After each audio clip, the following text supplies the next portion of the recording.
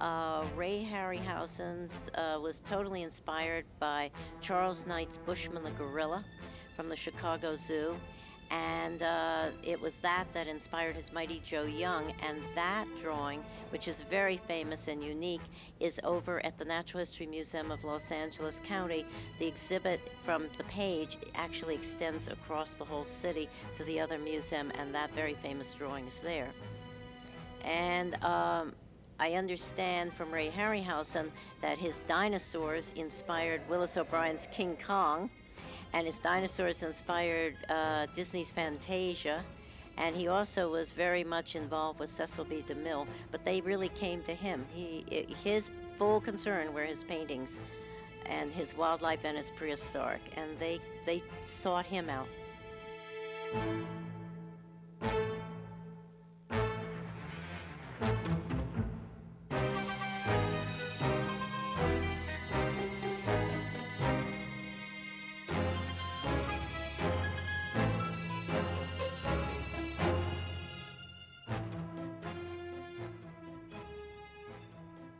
A collection of paintings, drawings, and sculptures by artist Charles R. Knight are currently on exhibit at the Page Museum, encompassing works that highlight the influence of a true visionary.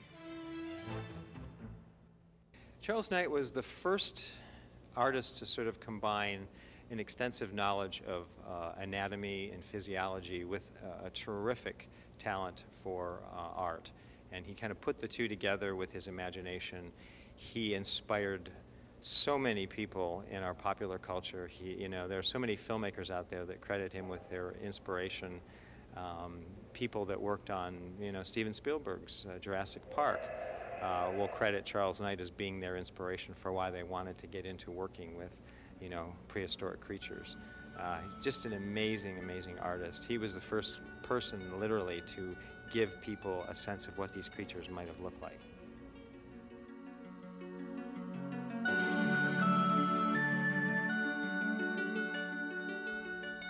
To appreciate Charles R. Knight's influence, one must understand that for a period of time, knowledge of the prehistoric world was based upon the mere assemblage of fossil bones. It took the genius of Knight to look beyond these bones by adding flesh and fur to add dimension and to envision the complex and mighty creatures that once roamed our primeval world.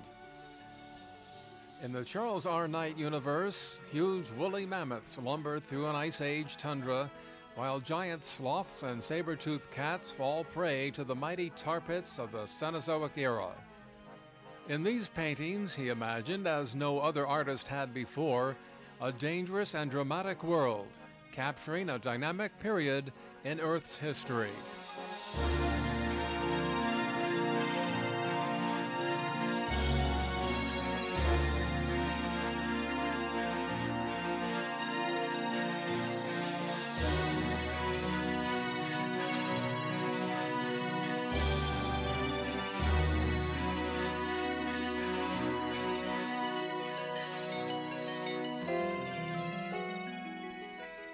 Some of the other items on display involve photographs and artifacts, including a few of the artist's personal items, like his wallet, as well as perhaps his most cherished personal item, one of his artistic palettes, still splashed with paint.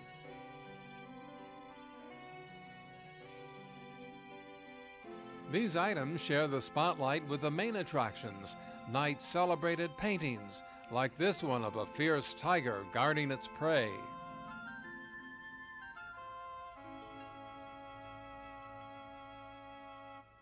That is considered my grandfather's finest big cat, and it's a Bengal tiger holding a peacock. And uh, that was painted at the Bronx Zoo and uh, in New York City. Oh, you, you mean that the tiger was there and he painted it? Absolutely. He wow. did everything from life that he could outside of the dinosaurs, uh-huh. but he did his wildlife all from life and would go across country finding the finest specimen to paint. And uh, in this case, he chose the Bronx Zoo. Was he a New Yorker like you? He was. He was born in Brooklyn, uh-huh. and he lived in New York, but he traveled the country for the zoos and the museums. Now, you actually knew your grandfather for a period of uh, some 18 years, I believe. I did. I grew up with him. What was he like? He was uh, very soft spoken, very gentle. Unlike most artists, a total extrovert. Uh, he talked to everybody. He would gather, if we went to the zoo like for this or wherever, and he would be talking to me, you would have a crowd all around him. And he'd often bring 10 of them home for tea. My grandmother knew, never knew how many were going to appear. you had a great grandmother, too, in that sense. That's right. Uh, he also um, was uh, very strong on things being accurate. His animals had to be accurate anatomically. And uh, he was a uh, great believer, which is really today's world, I believe, in preserving what we have been given, especially things like coral reefs and the wildlife and the ecology. He was way ahead of his time on that, and that was his deep concern over 50 years ago when I knew him.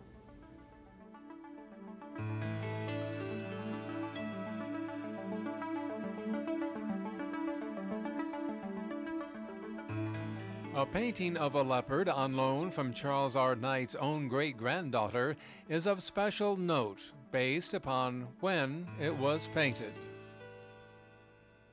It was his last painting. It's actually the eye is unfinished because he died while painting this painting. If there's a ghost, I'll bet he's with you in that painting a lot, so. huh? I hope so. Yeah. It's it's very overwhelming and wonderful to come here and see this beautiful exhibit of his work. And then eventually, when you go back home, you'll sit, you look at that painting, and you'll know where it was. That's right. Uh, what do you know about him, and what have you heard from your relatives and from everybody else?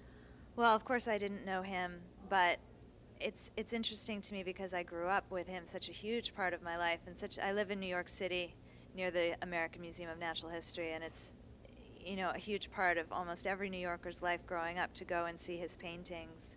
And um, I did grow up with his daughter, Lucy, who I called Ami, and she lived with me and brought me up in many ways. So I grew up with him as a really huge part of who I am. So you have a real conversation piece when people visit you. I do. I do. it's something to be very excited about and proud of. And, and it's, it's odd, too, because there are so many people who know a lot of things about him that I don't even know, which is exciting, and it's a real uh, grace to have that. In the decade since his death, Knight's visionary genius has equally captivated the artist as well as the paleontologist.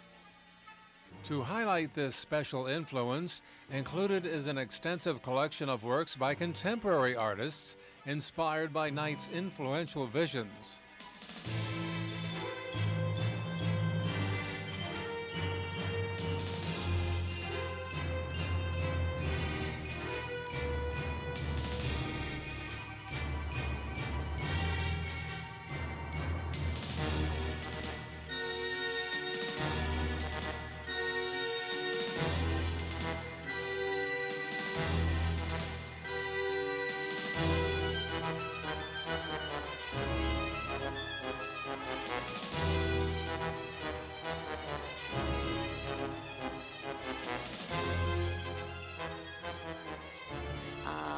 Perhaps I'm the only one around that actually knew him.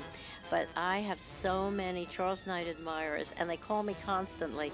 People become my best friends from all over the United States, and they feel that they are really one with my grandfather, and they're doing what they do today because of Charles Knight. He was, uh, to say the least, an inspiration. You know, I think I haven't always been aware of that because it's been such a private thing for me because I grew up with my grandmother.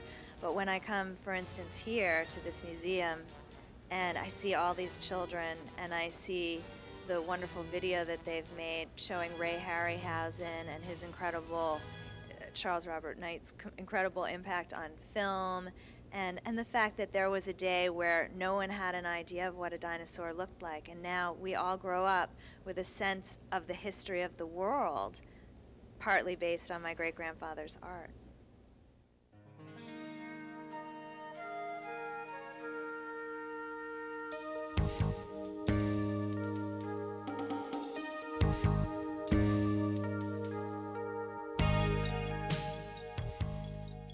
Of course, Knight's paintings were inspired by the real specimens, the actual fossils of prehistoric beasts like these, which can be viewed at the Page Museum every day.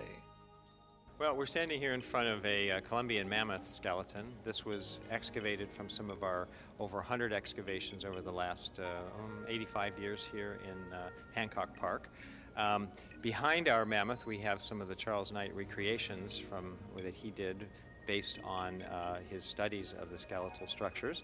Um, amazing exhibit. We basically also have research that we have done out in Pit 91, we know what kinds of plants and, and uh, other smaller creatures were around during that time, and we've recreated a Pleistocene garden out in the back uh, park as well, where you can actually step back in time 28,000 years and see what the environment was like. So now we have the animals, we have the environment, and then we have the recreations and the artwork both here and at the Natural History Museum of Charles Knight. I imagine people come from all over the world to see uh, this museum, and they might be surprised to see so much. Oh, we have artists, illustrators, animators, engineers. Everybody comes to see the, you know, the, the skeletons, the fossils. They want to see the, they want to see what it was like back here. And, and the amazing thing is that these animals thrived in this environment for so many hundreds, millions of years, and and then they all, the larger ones, all went extinct within the last, you know, 10,000 years. And